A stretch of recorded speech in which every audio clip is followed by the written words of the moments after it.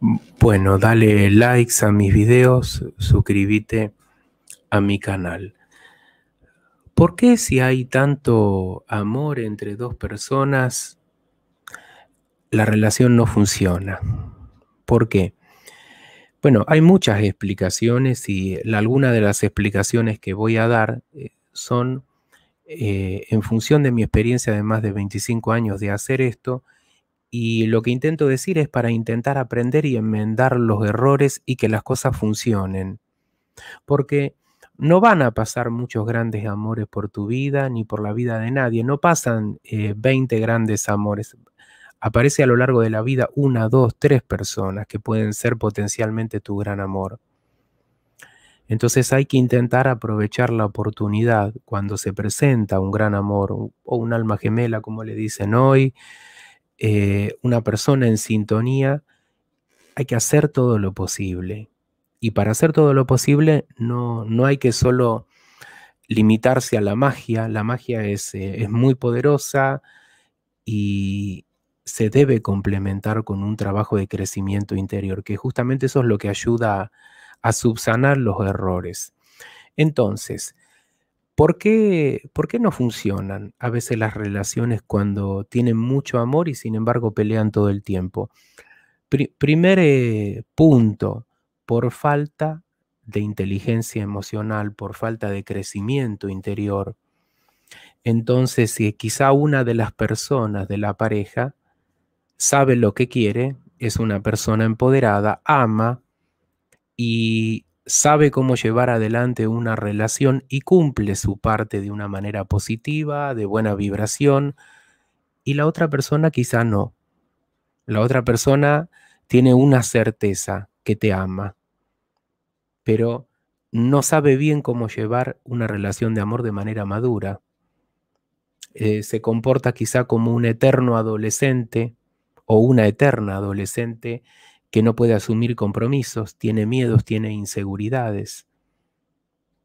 Y, esto le suele suceder a, muchos hombres, ¿eh? muchos hombres que eh, de pronto aman a la pareja, pero no pueden asumir un compromiso, no pueden eh, hacer esa alquimia de pasar de ser hombres inmaduros, que no saben qué quieren y que sí aman, ¿eh? No saben cómo llevar adelante, no saben las herramientas que, deben tener emocionales para, para, tener una buena relación y no pueden transformar eso en, sabiduría, en una vibración más alta, no lo están pudiendo hacer porque por falta del nivel de conciencia adecuado para poder evolucionar y hacer estos aprendizajes. Entonces, hacer estos aprendizajes que planteo yo es como dar un salto cuántico. Tú haces el aprendizaje de cómo tratar a una compañera o un compañero al cual amas, cómo dialogar. Hay gente que no sabe dialogar con la pareja. Hay personas que no saben dialogar con la pareja, que no saben cómo llevar adelante su proyecto de vida, pero no quieren perderte, pero tampoco pueden transformarse para vibrar más alto y sostener una relación más saludable. Otro de los motivos porque una de las dos personas, y está, y está muy relacionado al primero, ¿eh? una de las dos personas está muy herida, o quizás las dos, quizás las dos, está muy herida o herido por el pasado, ha sido muy traicionado y, y tiene la programación negativa de este hombre o esta mujer me va a hacer lo mismo que mi ex. Y ese es un motivo bastante común y es un motivo muy poderoso. Y sin embargo la persona dice, Amo a mi pareja, pero tengo miedo que me haga lo mismo que la anterior.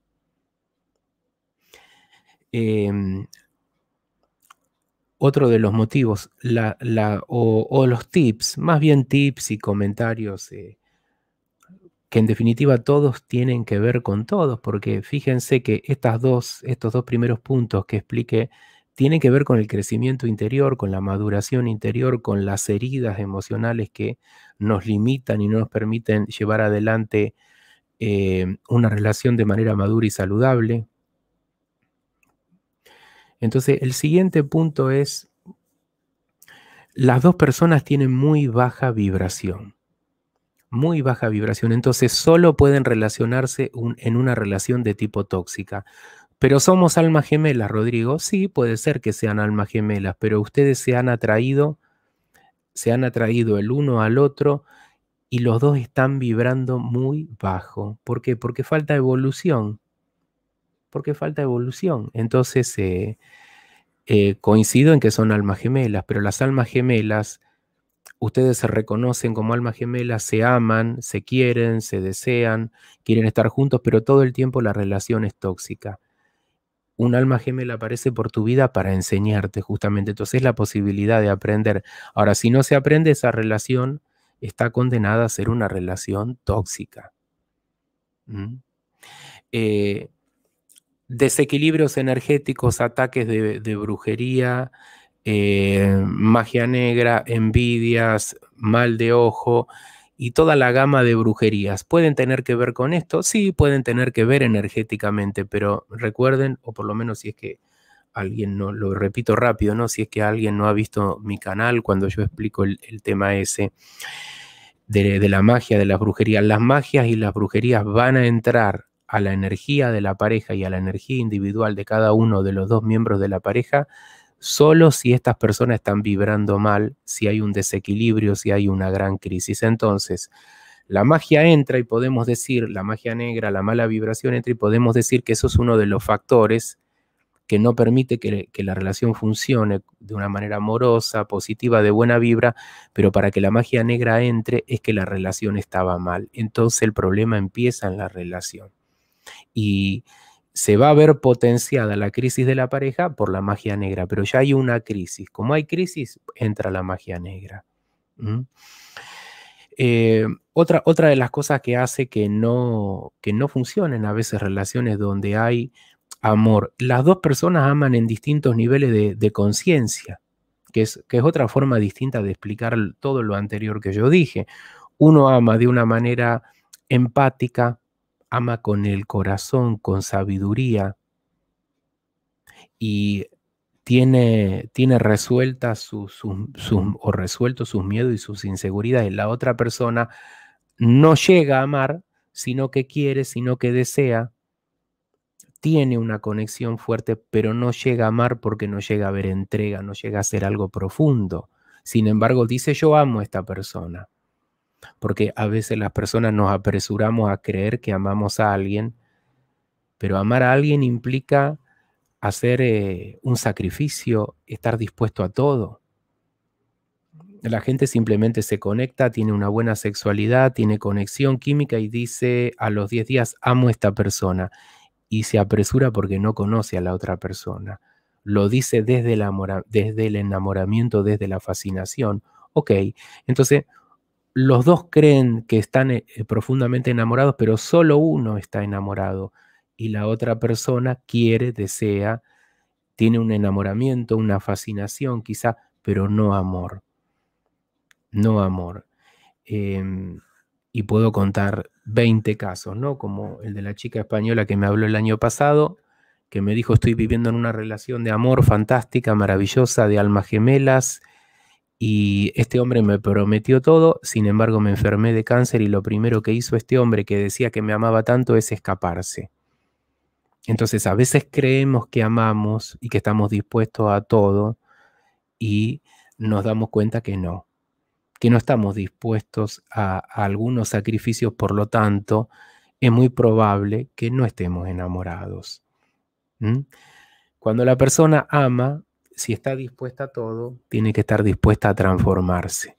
Entonces ahí yo le garantizo que va a tener más posibilidad de éxito si la otra persona te ama y tú la amas que con cualquier ritual de magia.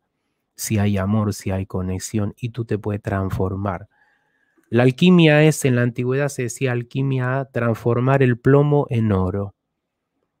Haga alquimia, transforme los aspectos oscuros suyos en luz, en luz. Otro de los puntos por los cuales dos personas que, que dicen amarse o se aman no le funciona la relación, porque una de las dos está muy mal aconsejada, muy mal aconsejada por brujos, tarotistas, eh, por una madre frustrada em, o por una amiga que no tiene ningún conocimiento de todo esto, entonces las personas la persona que está influenciada por consejos de muy baja vibración y de poca sabiduría va a tomar decisiones y seguir caminos egoístas, caprichosos, que van a hacer que la relación se deteriore. O los dos van a jugar el juego del ego. Yo te amo, pero te aplico contacto cero. Y tú del otro lado me aplicas contacto cero a mí. Y los dos nos castigamos con contacto cero. Entonces los dos decimos, cada uno en su mundo, si él me ama o ella me ama, tiene que reaccionar, si de verdad me ama. Y el otro dice lo mismo de mí. No sé si se entiende. A veces jugamos los juegos del ego y destruimos el amor. Y jodemos el amor. Eh, otro factor es la distancia. Mucha gente se ama profundamente y por una circunstancia de la vida, uno de los dos debe irse al otro lado del mundo. Y esto ha pasado con mucha gente venezolana por todos los problemas que, son de público conocimiento en Venezuela. ¿eh? Eh, yo me puedo ir a España, tú, tú aguantas en Venezuela, ya te voy a mandar el pasaje, pasa un año, un año y medio, dos años, no se puede concretar el encuentro y se va disolviendo el amor. Y peleamos todo el tiempo, porque la frustración que tenemos los seres humanos no, nos lleva a enojarnos y a atacar y buscar un culpable y quizá maltratar a la persona que más amamos. Entonces la distancia es un factor que puede ir destruyendo una relación de amor, en algunos casos, en otros casos no. En otros casos no. Si ustedes analizan todo lo que dije yo, está todo muy conectado a la falta de crecimiento interior y a la falta de vibración y de nivel de conciencia adecuado en uno.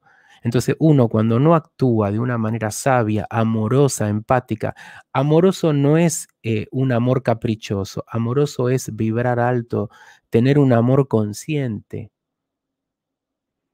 Yo les aseguro que en esa actitud, si hay amor, van a tener éxito de parte de los dos. Si se quieren, pero los dos tienen la actitud correcta, se van a empezar a amar. Pero si se aman profundamente y hacen todo mal, se van a joder ustedes. Entonces, hay que ver de quién uno escucha consejo.